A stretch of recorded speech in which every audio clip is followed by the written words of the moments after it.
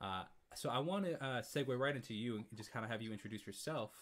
Uh, you know, for people that aren't familiar with with your body work is tremendous. You know, it's it's really pretty wild. So, uh, can you give a little backstory on who you are and what you've done? Yeah, no, my name's Seth Mosley. Thanks so much, Jacob, for having me. Appreciate what you what you do and what you are doing for your people and your world. And uh, yeah, my name's Seth Mosley. I am a songwriter. I'm a music producer.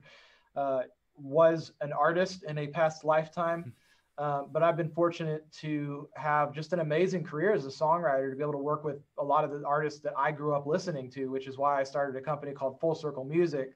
It's kind of all these full circle moments of people wow. that I grew up grew up listening to. My first record was from a band called Newsboys back in 95. And then I ended up producing uh, their label record, which was my first uh, record that I produced for a label was in 2009 called Born Again. So that's full circle music. That's where all that comes from.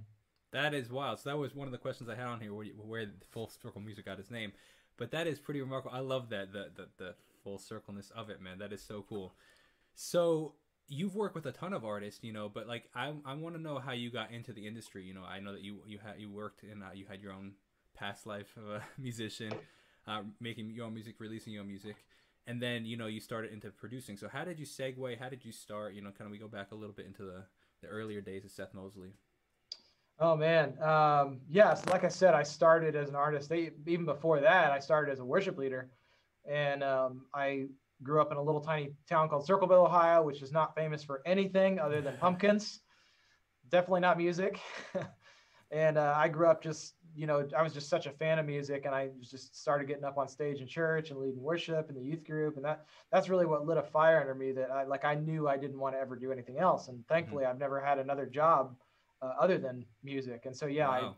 I I originally went the producer route. I, I was working in a studio as soon as I graduated from high school in 05 and then I went the artist route for a few years, and uh, yeah, went pretty hard at it. I mean, we toured, you know, a thousand shows. We were playing 150 plus dates a year, booking our own tours. We eventually ended up signing to a publishing company and a record label under yeah. Warner Brothers.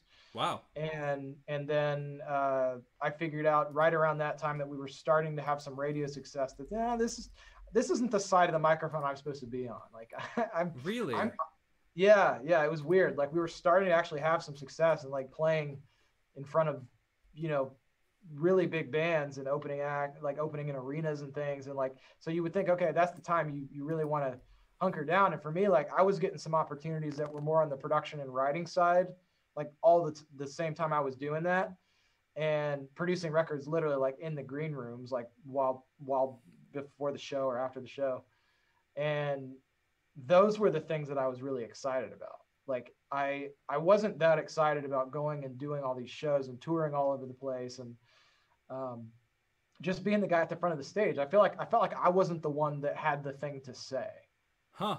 Like, like I felt it. I felt like it was other artists, and I was supposed to be the guy that was like helping prop them up and, and give them better songs, make them sound amazing, and and so that's where I kind of made the tradi- the, the transition after about doing the artist thing full time for four years to just jumping right back into the seat as a producer and songwriter. And it was a great decision. That was, like I said, right around that time that the Newsboys asked me to produce their record around 2009. And uh, yeah, had a really, really great run in the Christian music industry for about seven years and um, worked with literally everybody that I that was on my bucket list to work with. Like, oh, that is cool, man. Like every single person. And uh, so from there, and you know you, you want winning Grammys and all that. It's, but from there, I, I, made the decision that I wanted to branch out, and so over the last several years, been working a lot more in the country space and doing some in pop and alternative and rock, and um, thankfully have been been able to keep keep a pretty good level of success going across the board. And so I'm just, man, more than anything, I'm I'm just really thankful.